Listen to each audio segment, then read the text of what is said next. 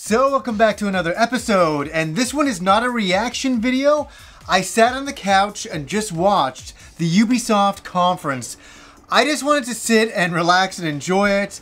Uh, doing a lot of the reaction videos takes a lot of time, a lot of editing, a lot of time. It's kind of crazy. I will do one for Sony tonight, but I'll just do some highlight moments from that one, and I'll do it for some highlight moments for Nintendo and then I'm done. Like, there's so much to react to at E3, it's almost ridiculous.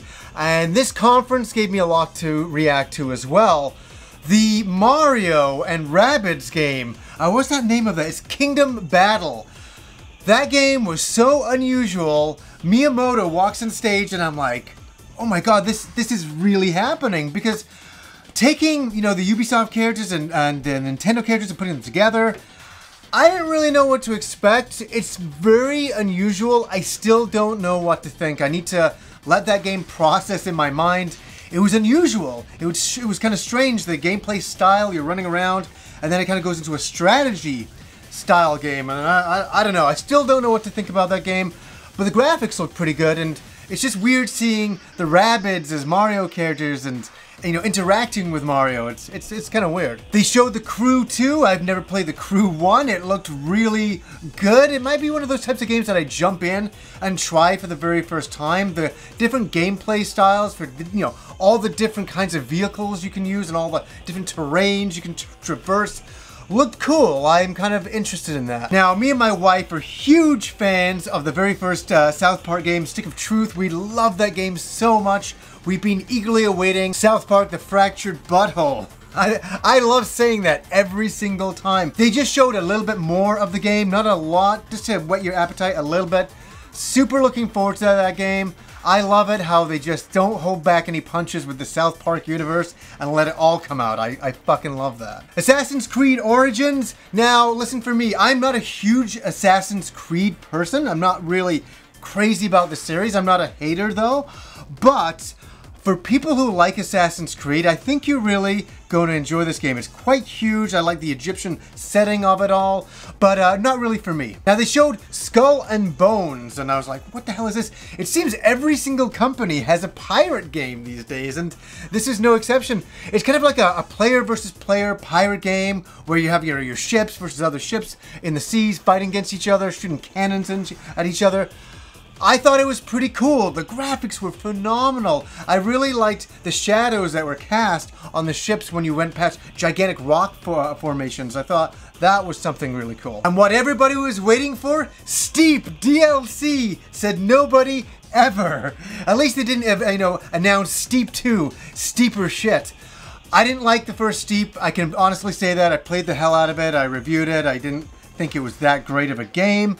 But, you know, at least they're following through and doing DLC for anybody who did enjoy the game. Now, they showed Starlink, and I was like, what is this, No Man's Sky? That's what I first thought. That's my first reaction. I still kind of think that, but I haven't seen enough to obviously make that final kind of thought process.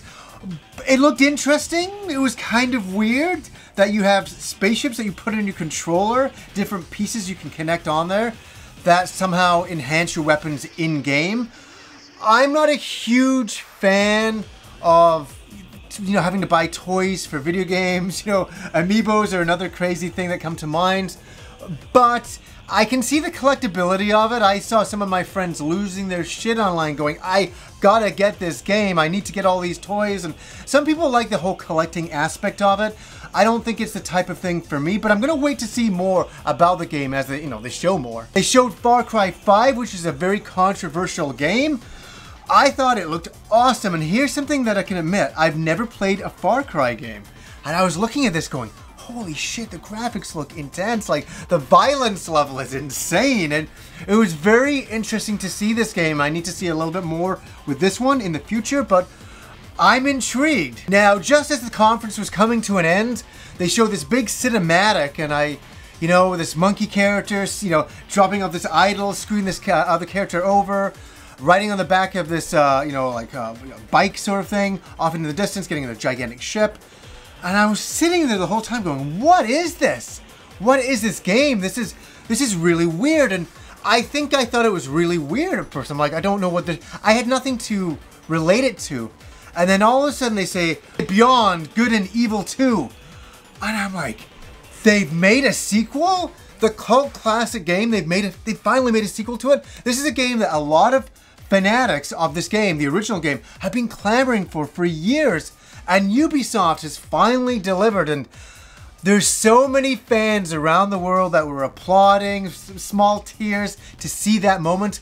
There's probably a lot of you guys watching right now saying, what the hell is that game? I do a Google search, find go see some videos, find out the history on that. There's a big history with the game. But just just know that a lot of people have wanted to see a sequel to it for a long time, and today that was delivered. And the one thing that I want to end here saying is that I I rarely say this about a conference, but the one thing I'll say about the entire Ubisoft team, and there's so many different development teams in there making all these different games, I saw the passion in all of these guys, and some of these people were getting up on stages and they were getting like tears in their eyes. And I'm not getting emotional here, but I I was a little choked up, and I was like, these guys really love their games and they really have a lot of passion in there and you that can't be denied and it seemed like Ubisoft was more of a family element than sometimes you see in a lot of other you know big studios uh, uh, out there. I saw I saw the family element and the the love for their games, and that was one thing that I give this conference a big thumbs up for that passion that just came through the camera. And the one thing that you can't do on camera is lie. The camera always picks it up. You can be a pretty good actor, but the camera can always tell if you're being genuine or not. And I saw that in this conference at the end, and I thought it was really, really wonderful. I thought the conference was fantastic. Overall, one of the better conferences for sure. You know, at least for the passion department that we saw there. So, anyways, guys, until next time.